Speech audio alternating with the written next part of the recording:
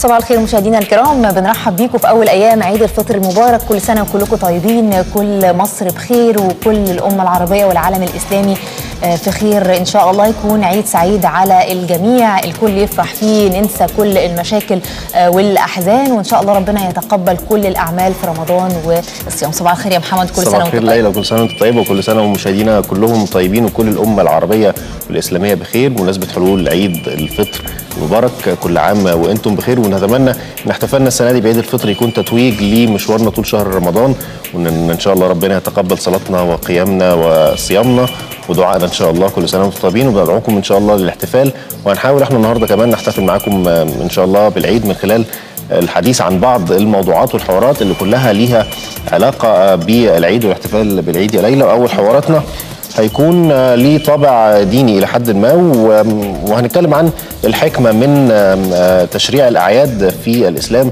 وكيفية الاحتفال بيها. زي ما إحنا عارفين إن ربنا جعل عيدين كل عام للمسلمين عيد الفطر وعيد الأضحى وأيضا هناك عيد أسبوعي للمسلمين وهو يوم الجمعة. السنة دي اجتمع العيدين في يوم واحد اول يوم عيد الفطر. كان يوم الجمعة. هنتكلم أكتر عن هذا الموضوع. أكيد معانا كمان مجموعة من الفقرات الثابتة. فقرة الصحافة وتحليل ورصد الأبرز ما جاء في الصحف اللي صدرت صباح اليوم. ومعانا كمان حوار عن ظاهرة يمكن بتنتشر إلى حد ما في الأعياد. ظاهرة التحرش والمبادرات المختلفة الشبابية لمكافحة هذه الظاهرة. أيضا هذا العام ظهور الشرطة النسائية بشكل كبير في الشارع لمكافحة هذه الظاهرة. وعلشان الجميع يقضي العيد بطريقة تكون لطيفة ما يكونش فيه أي نوع من أنواع المشاكل في الشارع ولا المضايقات. ده اللي هنطرحه من خلال حوار من حواراتنا النهارده في هذا الصباح. دعوة للاحتفال بالسلوك الحضاري ونبذ السلوك أو أي سلوك مشين ممكن أن يشي المواطن المصري والمسلم بشكل عام هيكون حديثنا النهارده.